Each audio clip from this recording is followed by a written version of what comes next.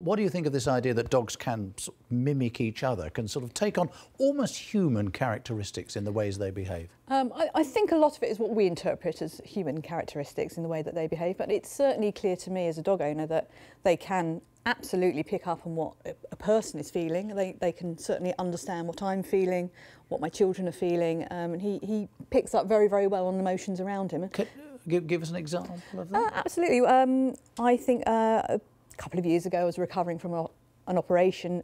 Normally, Daniel would be pestering me uh, to go for a long walk. He loves his exercise. He loves long walks. Um, I was very unwell for a day or two, um, and he simply just sat beside me, wouldn't let me out of his sight, and waited till I'd recovered. And he didn't bother me for walks or food or anything. He just knew that I was under the weather. Indeed, and Dr. Bradshaw, we're talking about. I think the word is empathy here, aren't we? How much can dogs show empathy with with humans and with other animals? Do you think?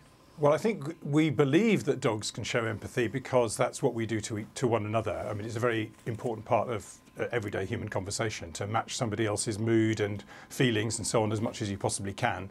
Um, unfortunately, I, I, don't think dogs, uh, science doesn't think that dogs' brains work quite like that, uh, and that basically what they're really, really good at doing is is reading other other people's or other dogs' body language. Uh, and they do this so well that they actually convince us that they can uh, read our minds. But in fact, what they're doing is, is reading our body language. Well, uh, here's a sort of thought. It's often said that if someone is sick, uh, or even perhaps, very sadly, if they are dead, uh, the pet, the family pet, particularly a dog, will not leave them. That, that shows a degree of, if you like, empathy or sympathy with that person, doesn't it, from the animal's point of view? I think it shows a great deal of sensitivity um, and uh, also the, the very strong bond that dogs have with people. It's, it's unique among the animal kingdom. There is no other animal from you know the the, the, chimpanzee to any, almost anything else you can name, which will form these very strong attachments to people, and it's why dogs are so easy to train and why they've been such good companions to us. So um, they they do read our body language, and when that body language goes wrong, as far as they're concerned, um, they get very they get very upset um, and will stick around uh, and provide a lot of comfort, even if they don't quite realise what they're doing. They they are very effective at it. But so you don't go along with these Italian researchers then, who seem to have found quite a strong link between the way dogs behave with each other.